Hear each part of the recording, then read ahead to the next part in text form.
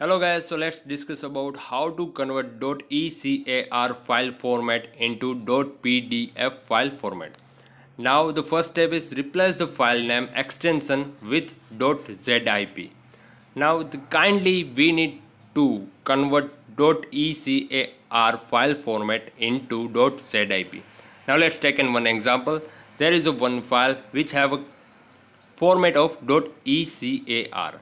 We just need to rename the file name. And we need to convert .ecar file extension into .zip okay it's done. It's basically renamed. Okay here it is. Now the second step is extract or say unzip the rename file.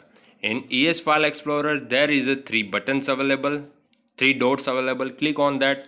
And then there is an uncompress button. Click on it the file is uncompressed. Okay that's it. Now here in somewhere you can find your desired file output. Like click on the folder then this is an unnecessary file. Click over on the folder and here it is the file which I required. And open that file that particular file with your uh, WPS application or the other application. Okay and this is it.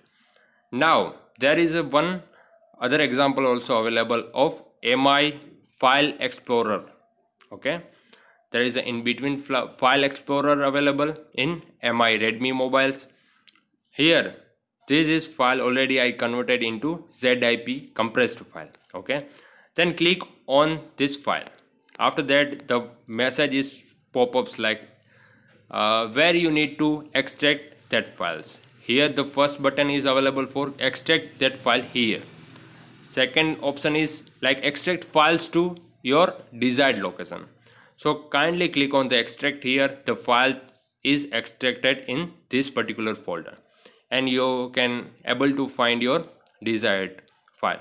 Actually here the .ecar is a file format which is compressed your actual file into .ecar file format. And when you extract that file the unzip that particular file you can give you can able to see the actual file format. Okay it may be a mp4 or it may be a in .pdf file format. And all the best guys